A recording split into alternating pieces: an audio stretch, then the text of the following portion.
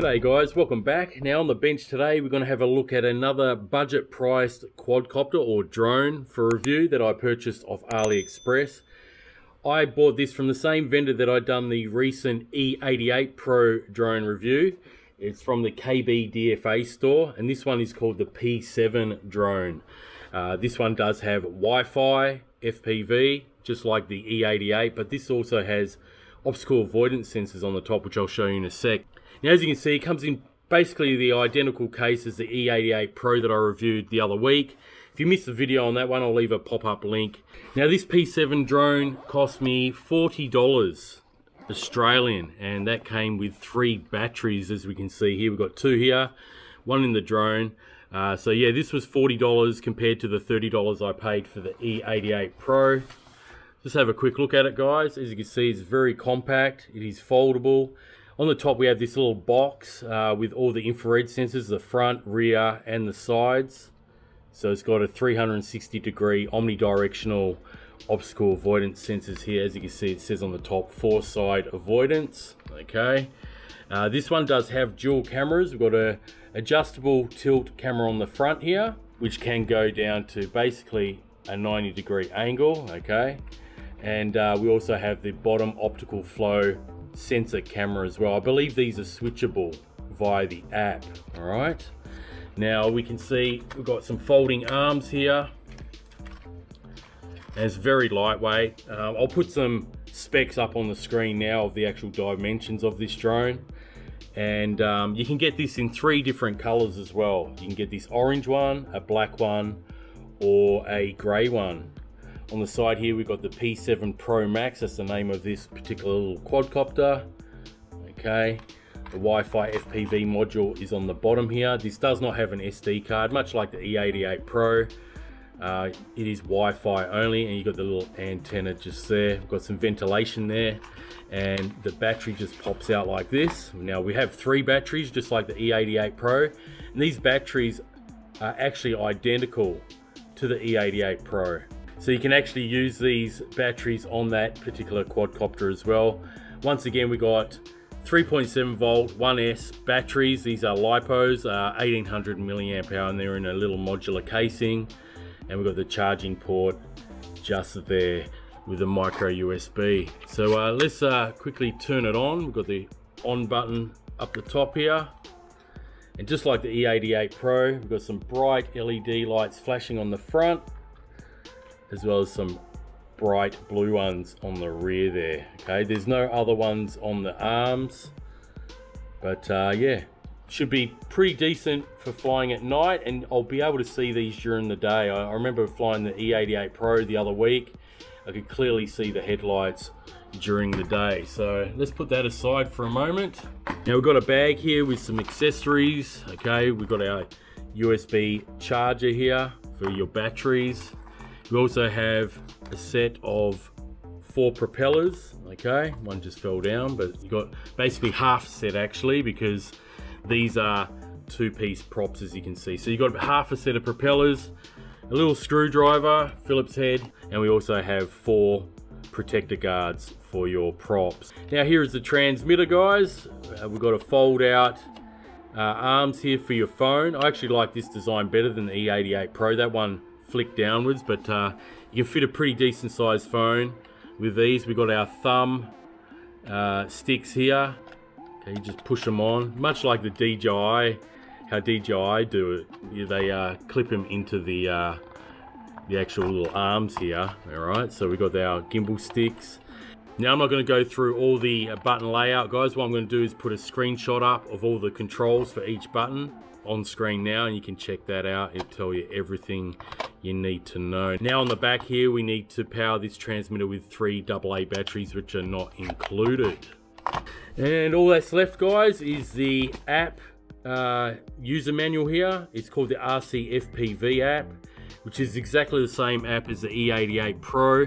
Now, I did have some problems with that on my Android phone, uh, where it did boot me out, but I will give it another go on this particular P7 Pro Max and see how I go.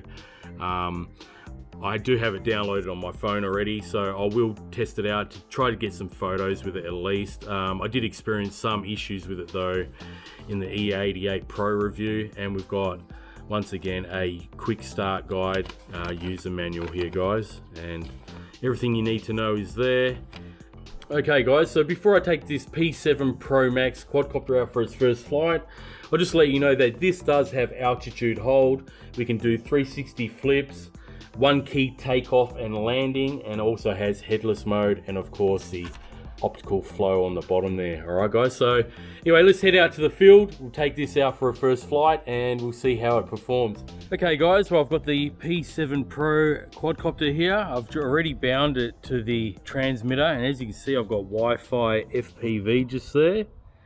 All right. So what I might do, I'll take a few photos first before I start flying it.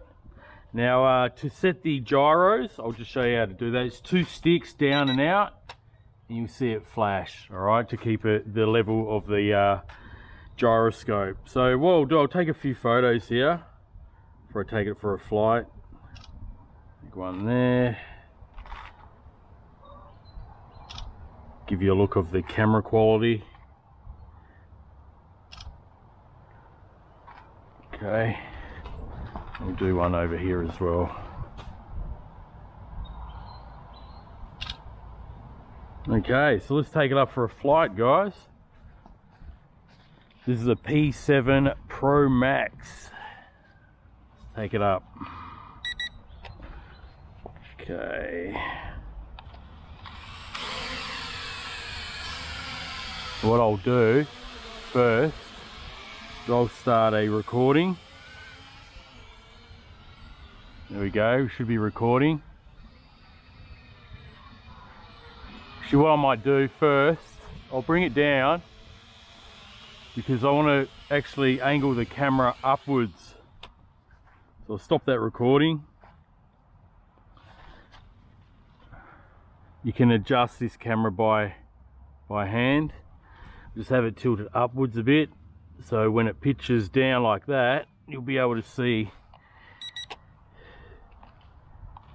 the actual uh, you won't be seeing the ground when I pitch forward. That's better. Right, so we're in first rate. Now I'm not having any problems with the app this time, like I did with the P, what was it, the E88 Pro. This is run on the same app, RCFPV. So hopefully we get some recording in the gallery this time with this uh, little quadcopter. But we're in rate one, step up rate two. Flies really nice and smooth as you can see here.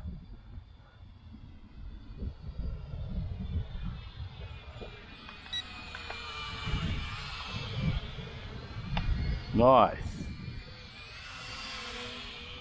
Take it up a bit.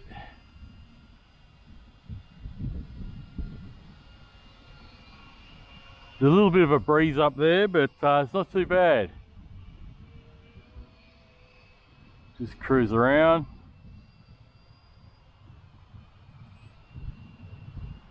So we're still recording, which is great.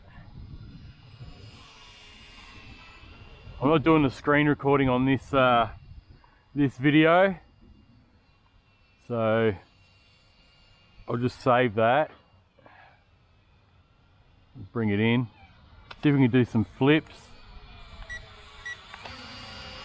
There we go. Start recording again.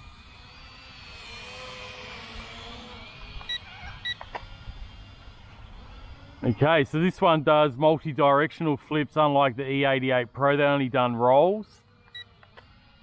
This one does the rolls and the flips. Okay, he didn't do the front flip, but did do a back flip. Well, let's try that again. Yeah, it does a back flip. Let me try a front flip. No, it doesn't do front flips. All right.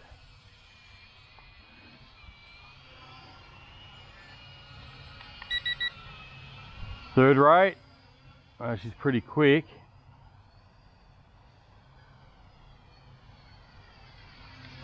Really nice flyer, guys.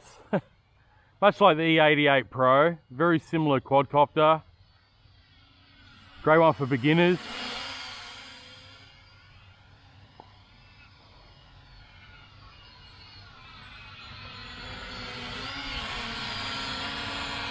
Right, what I might do is change the camera, see if it will record the downward facing camera, bring it above me. You can see the ground. I'm glad this app is working well today. Uh, I had no luck with the E88 Pro on this same phone, which leads me to believe that I might have just got a dud as far as the Wi-Fi module on that uh, on that quadcopter. Okay, now this is supposed to have automatic takeoff and land. Let's press this button here. Oh, didn't do much. I think this one might be headless.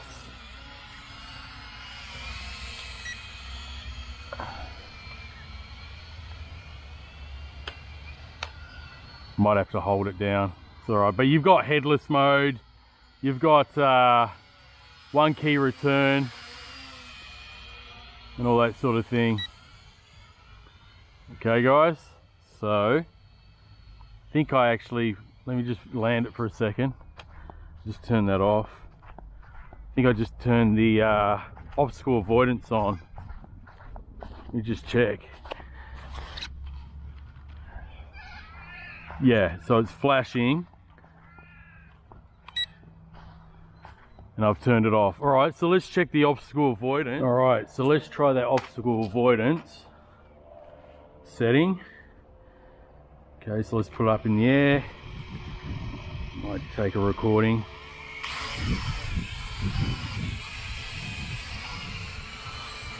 I'm gonna press. There we go yeah I'm gonna press that button. See the lights are flashing? It's meant to be in obstacle avoidance mode.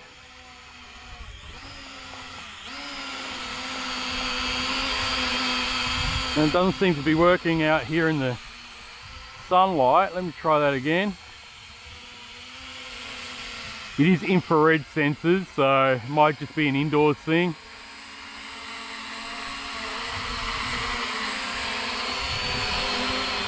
Yeah, probably. Let's uh, try against this wall maybe nope maybe in the shade here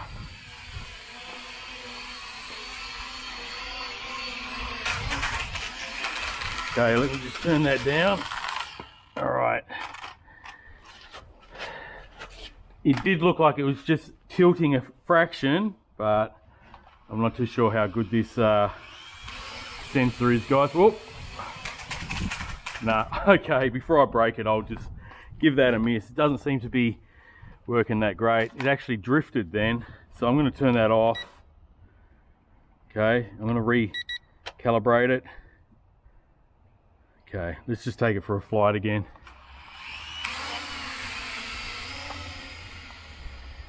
I'm gonna set the set in third rate. Yeah, I'm not too sure about that obstacle avoidance, guys. Uh, didn't seem to want to work out in the sun. Might just be an indoors thing. But as you can see, it didn't seem to work that great. Didn't really expect it to. I had another quadcopter, very cheap one like this, a while back. And it worked okay at home. Not too bad, but uh, when I did test it out on camera, it didn't work at all either, so eh, doesn't really matter. Um, pretty much a little bit of a gimmick on these uh, toy grades. They're not going to be like a DJI, you know, obstacle avoidance sensor. They're just infrared sensors. I think the sun affects it quite a bit. So, but yeah, nice flyer. I mean, this is a great one to uh, learn on, much like the E88 Pro, like I mentioned. definitely if you want to learn how to fly, this is a, a great option. Being that it's a low cost drone, around $30 US. I think I paid close to 40 Australian, so around 30 US roughly, give or take a few dollars, and uh, three batteries. Uh, it's got gesture, uh, like a tracking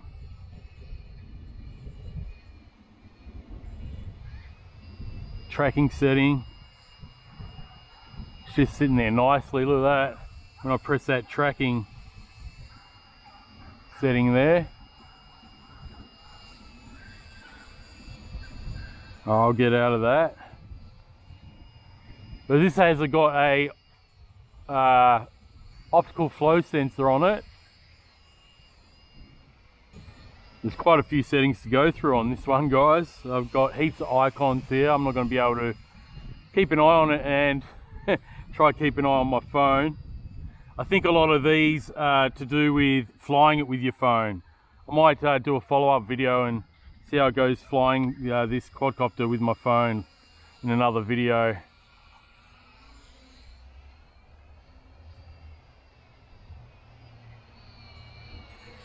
Yeah great flyer. Yeah, looks like we've got LVC now.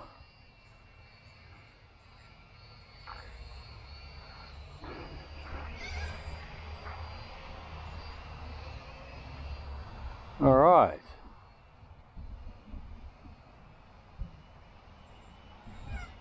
Slowly bring it down.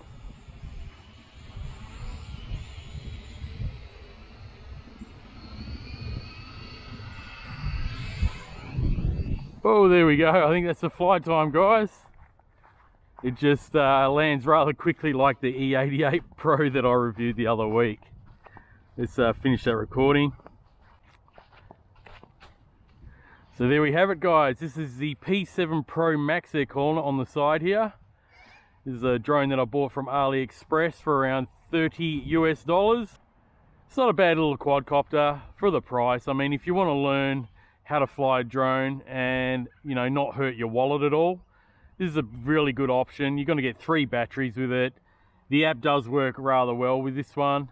Um, i'm actually quite pleased that uh, i had no issues with the app.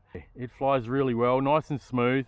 Definitely a good one to learn on you've got two cameras front and the bottom one that one acts as an optical flow sensor as you can see at times it was just hovering there on, on its own uh, without moving that much. So uh, definitely does work.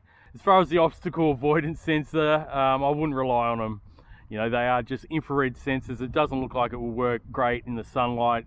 I didn't see much movement when I put my hand up to it, as you can see during this video, and uh, didn't seem to work that well in the shade either. It did glitch a little bit to go away from the wall at one point, but not enough for it to uh, actually avoid the wall. So I wouldn't uh, rely on it by any means. Uh, just have fun with this one if you do purchase it.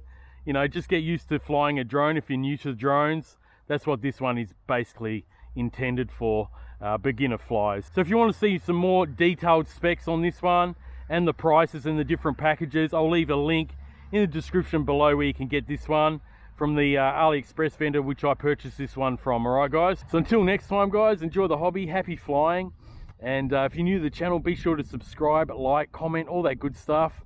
And uh, I'll catch you on the next video. So have a great day, and I'll see you guys again soon. Bye for now.